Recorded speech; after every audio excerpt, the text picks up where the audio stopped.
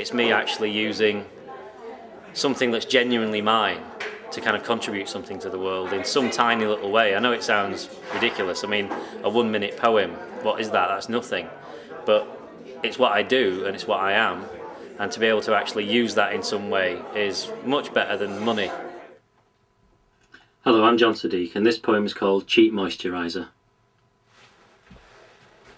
I worry every time I see her, it may be the last time.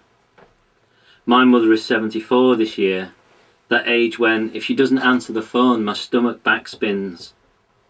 Today, I massaged her hands with moisturiser, with drops of lavender mixed into it.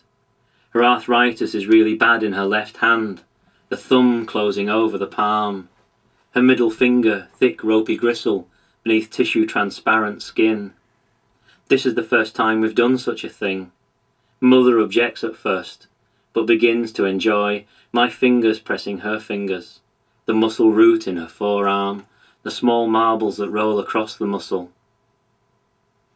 Often these days we dance to ABBA or Queen, quick two-minute waltzes on her green cat-haired rug that's always crooked. She's not been touched much in her life. I die if a day goes by without a love. She never hugged us once we'd stopped being small.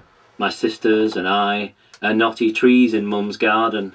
Now I try to feed and care for her with lavender oil and hands, hoping some of the love I've taught myself will soak into her fingers and backflow into her body, through the fibre she's grown over her untouched desire.